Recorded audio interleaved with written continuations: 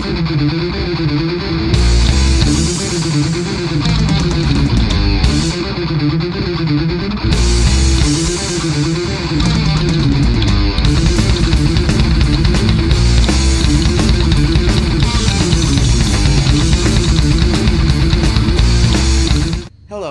welcome to Breaking It All Down. I'm Count Zero. It's been a long time since I said that it was coming, but now the time is finally here. This week I am taking a look at the novel Black Blade by Eric van Lustbader. Now, before I get too far into the novel, I do need to give a quick refresher on one of the important things about this book, which is the US perception of Japan in the late 80s and early 90s. I went really in depth on this when I did my discussion of the US box art of Mega Man in my little two for one column couple episodes ago. But if you don't want to go through that, here's a really brief primer. In the late 80s and early 90s, the US was in a recession, much like the one we're in now. Around the same time, we basically had a situation in Japan where they were a bubble economy, much like the one we just came out of. And so, Japanese investors were basically spending a lot of money in the United States on American businesses, American real estate, and that sort of thing, including taking jobs overseas, which in turn led to a backlash in certain conservative circles. In terms of politicians, writers, entertainers, pundits, that sort of thing, all basically saying the Japanese are trying to steal our jobs and our businesses and so forth. However, at the same time, Japan was being romanticized in US pop culture as well. Japanese animation appeared on Western television in the form of Voltron, Robotech, and Battle of the Planets, and Western martial artists like Chuck Norris and Steven Seagal were on the big screen, demonstrating both their martial arts skill and their inability to act their way out of a wet cardboard box, along with also, of course, all of those various Sho Kosugi ninja films that came out as well, which I should probably review at some point in the future. Even business executives were caught up in this, with works like Hagakure and the Book of the Five Rings getting moved to the business section of bookstores as a way for American businessmen to, to catch up on their Japanese counterparts, while likely looking like total idiots in the eyes of their Japanese counterparts. American thriller writers like Lustbader loved this, writing thriller novels which made Japan as romantic and erotic as it was dark and sinister, with evil, scheming businessmen plotting to overthrow the West, as geishas, geishas provided their and the reader's most darkest and twisted desires. Now, this book's plot is a convoluted mess, so I'm going to try and summarize it as best as I can. If you find yourself being lost at any point in this book's plot, or I'm describing it, or find any big gaping holes, don't feel bad. I had the same problem when I was reading this, and there are bits which I still have difficulty trying to explain in brief. Our main character is Wolf Matheson, a psychic, half Native American, loose cannon cop. He's in charge of the NYPD Special Homicide Task Force, which handles the cases the rest of the force can't handle. The police commissioner likes him because while he's a loose cannon, he gets results. The captain of the NYPD, on the other hand, doesn't like him because the captain is head of the evil black cop conspiracy, a sinister cabal of almost every African American law enforcement officer in New York City, all working together for one sinister cause. That cause to put down the poor, innocent, hard-working, white beat cop. I shit you not, one of the antagonists of a couple in this book is a conspiracy of evil black cops out to put down the white man.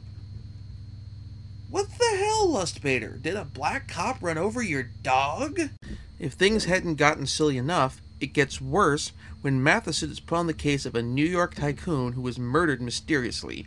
Matheson learned the dead tycoon had been tasked with infiltrating a mysterious Japanese secret society called the Black Blade Society. This society not only controls all of Japan, but also the economies of all the world, and has secretly been murdering members of Congress who have been trying to limit Japan's attempts to conquer the U.S. with money. Matheson is asked by a member of the U.S. government, Thornburg Conrad III, to investigate this murder and stop the conspiracy.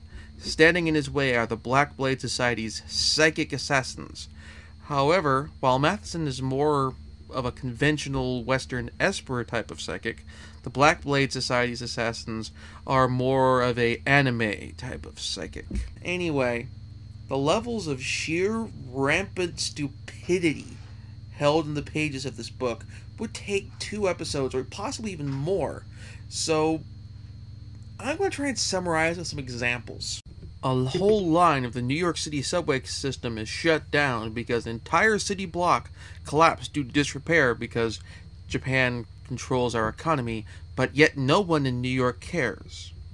There's rampant poverty due to the Japanese, causing the U.S. economy, to collapse, leading to favelas appearing in New York, though they don't call them that because most Americans don't know what favelas are yet.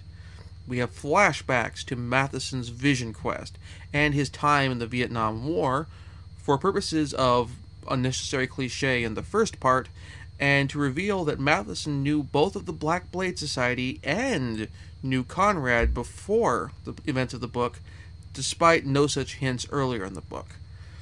We have Matheson's fiancée being murdered by a Black Blade Society assassin, and said assassin putting Matheson into a coma, leading to Matheson emerging from the coma and almost immediately seducing his fiancee's sister.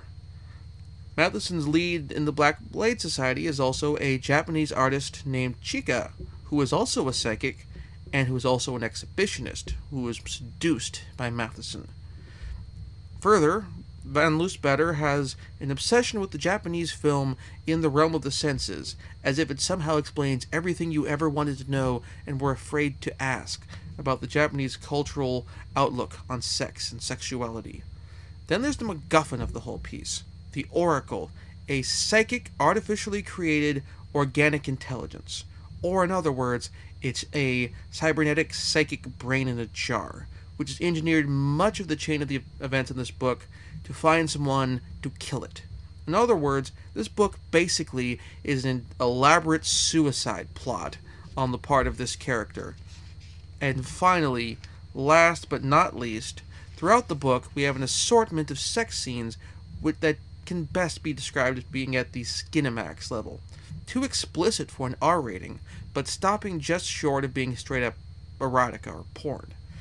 Further, none of these scenes fit organically, no pun intended, into the plot, stopping the flow of the narrative stone dead every single time they show up.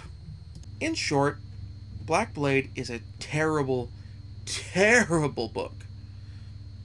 Now, if this book was just limited to the anti-Japan xenophobia that was going on and all the other stuff back then, including books by Clancy, books by um, Clive Cussler, I'd cut him some slack. I, I could see Lustbader giving an argument that he didn't actually believe this. Everyone was doing it. You had to do it to sell. I'm not going to to- wouldn't totally forgive him for it, but I understand why he did it.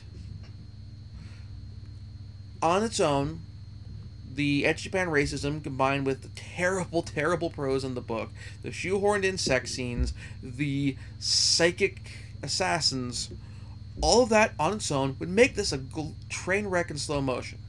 It would be possibly Lustbader's old shame but a hilarious, hilarious old shame nonetheless. But that's not what we got. The inclusion of the miso horny stereotype for chica, which is, I mean, it's a horrible racist stereotype of Asian women. The inclusion of that, the evil black cop conspiracy, leaves with the, the, the all the racism in this with an undercurrent of that this wasn't something the editor forced Eric Van Lustbader to do. This isn't something pushed in by executive meddling. This is something that perhaps Eric Van Lustbader actually believed that he was in fact a racist motherfucker. Admittedly, it's been 20 book 20 books. It's been 20 years since this book was published and depending on how fast Eric is churning out the books. He's a thriller writer. you got practically to turn those out once a year. Um, there's a distinct possibility that he's put out 20 books or more since then, and he's re- perhaps recanted his beliefs, and his more recent books are better. Going from the dust jacket of this thingy, he'd already done, oh, ballpark, let's say 15 books already in his career. Possibly even more since then. But still, take on this own. This book, I mean, no matter what, this book will leave your palate with a bitter taste of bigotry. Give this book a miss. Find something better to read. I mean, honestly, Clive, even Clive Cussler, who succumbed to this himself, has much, much better books than this one. Check one of those out instead.